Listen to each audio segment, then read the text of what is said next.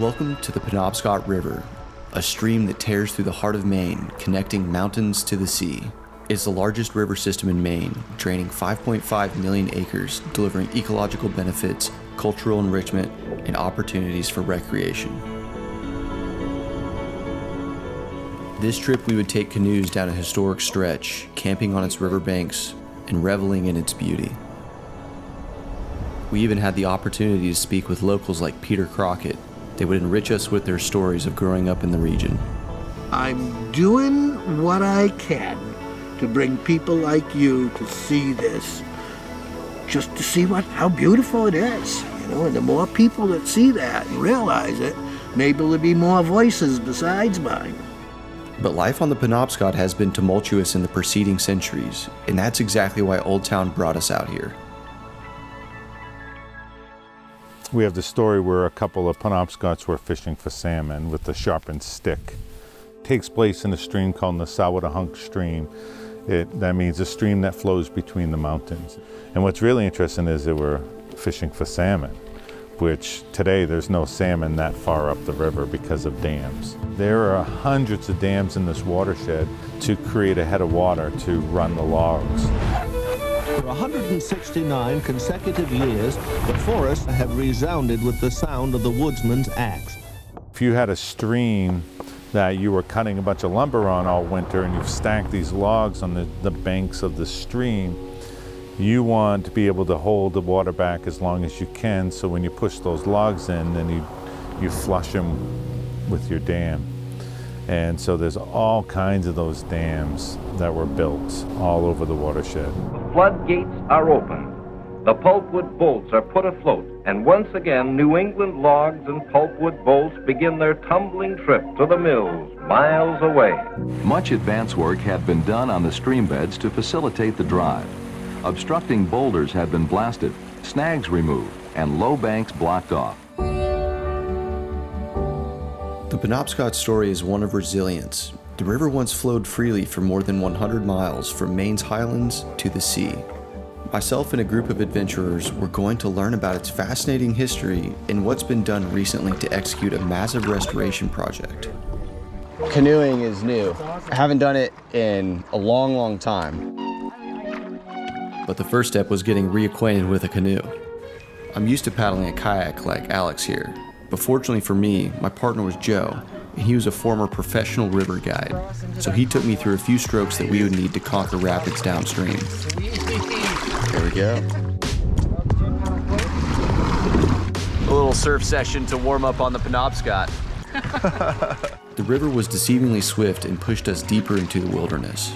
And as we continued onward downstream, it was apparent just how lush this landscape was. Yeah, this is sweet. Heck yeah, man. I feel like I'm paddling in a garden. Oh, yeah. This is amazing. The hues of greens and blues contrasting with the dark river was incredible. Seemingly out of nowhere, our Penobscot guide instructed us to pull over and hike into the woods. A birch bark canoe was being made by his tribe only a few hundred yards away. The canoe is made from a single piece of bark without a break or defect in any part. Sometimes we would take the canoe itself and take a piece of bark and make a ramp and the fish would swim and then swim up the bark and then land in the canoe and be trapped. You won't find a single screw or nail either. Only natural materials like wood and roots are used. You're fishing at a time when there's a lot of fish. They're coming from the sea and they're coming in like shad. They're coming in hundreds and hundreds of thousands numbers. And so trying to capitalize on on that. There's a moon that shows up nowadays around the end of February, early March. The moon that provides a little food grudgingly. So it's like starving times. So it's at the end of all your provisions. And so when it's fishing time, it's like, okay, we made it. And now all the food is coming.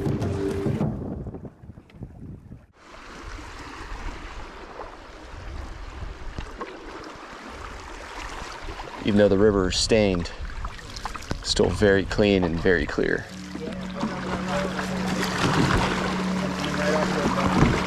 Tackled a few swiftwater sections and pushed forward to our next stop. We just canoed up to Sugar Island. This is gonna be a cool place to swim, have lunch, and also get a really cool history lesson.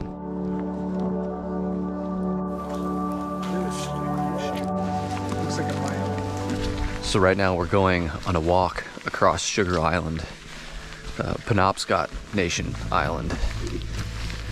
So there's an example of birch bark that we saw in the canoes. Our lunch spot was right next to these birch bark wigwams, which would have acted as houses for the Penobscot as they made their winter migration from the coast up to their family hunting grounds. But as we chowed down on lunch, James began talking about the severe pollution the Penobscot River endured for the past century. So we had uh, a lot of problems with dioxin here, which is a cancer-causing agent because of people wanting white paper. The water's the brown of paper and textile mill waste. The Indians called this river of many fishes. They wouldn't call it that now, and they wouldn't eat the few fish they could catch. Because it's the bleaching process in mills at Lincoln, which is north of here, East Millinocket, which is north of here, and Millinocket. At the turn of the 20th century, construction began on the world's largest paper mill in Millinocket, Maine. The small town of Millinocket grew at a feverish pitch.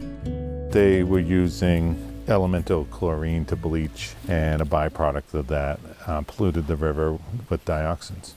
In 2008, the mill shut down and stopped releasing into the river. So, this is probably one of the most monitored rivers in the country. We have a water quality lab we send out people every single day to do tests in the river, completely testing the whole watershed in one week and do that every week. So if there is a problem in the river, if someone dumps something, we know about it. Yeah. There we go. Right on, paddles up, brother.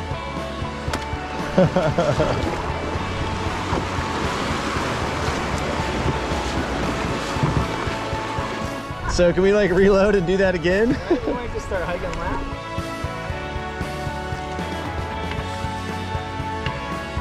All right, we've made it to camp. So we just finished our first day's paddling on the Penobscot River. Got our boats drug up on land. It just seems like around every single bend on this river, there's a new view, and it's amazing. Wow, there's an overpowering smell of mint somewhere. Probably mint and poison ivy. this is actually part of the Penobscot Paddling Trail. But this particular campsite is on private property. The owner is just down with having paddlers camp here, which is really cool. I think something that could be implemented on other river systems. The sunset produced a vibrant reflection across the river, welcoming us to its banks and definitely setting the mood for camp. It was going to be a wonderful evening, and the festivities had yet to even begin. We regaled about favorite sections of the river and recounted stories James and others had shared with us.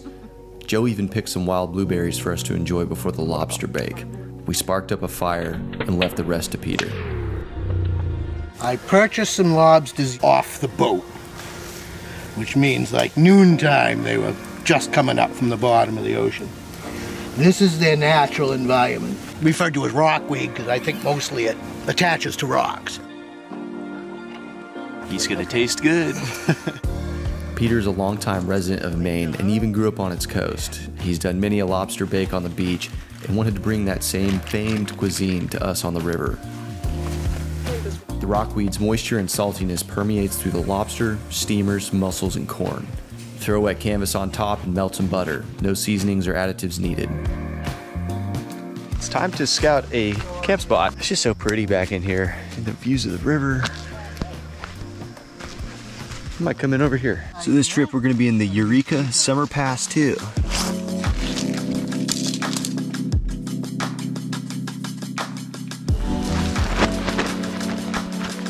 Yeah, this is a sick tent. A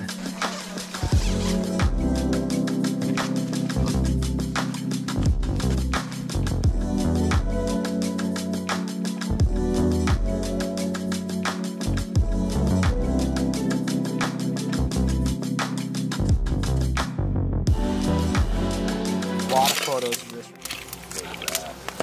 Airport in Saskatchewan. The lobsters were looking great and we were definitely hungry. Time to put them on the plate and crack them open. We started off dinner with some light conversation, but that quickly silenced because everything was delicious.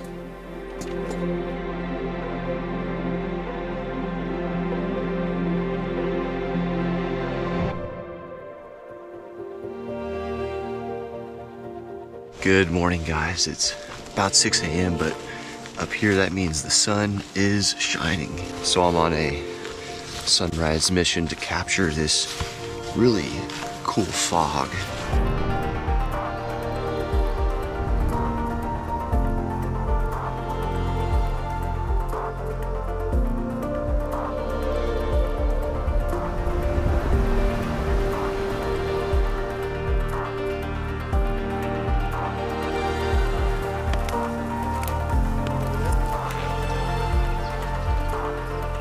We had a peaceful morning at River's Edge, watching the fog float by and drinking coffee by the fire.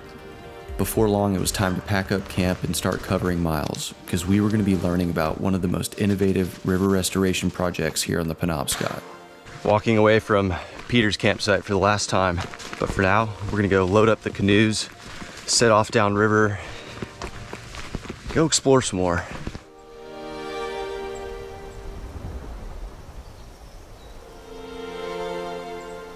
We pushed off from shore and pointed our canoes downstream through the braided river.